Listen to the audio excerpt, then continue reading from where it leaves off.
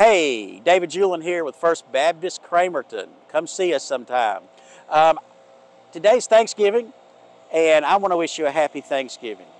You know, my wife works for a multinational corporation, and I listened to her this week telling people, you know what, I won't be returning emails on Thursday and Friday because it's Thanksgiving.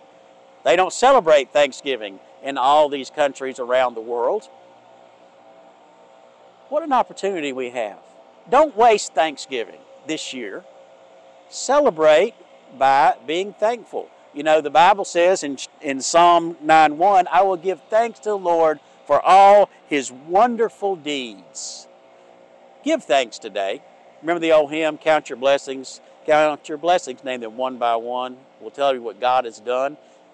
I'm going to challenge you today. Write down your blessings.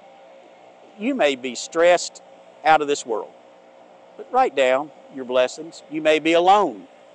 Write down your blessings. Don't waste this Thanksgiving.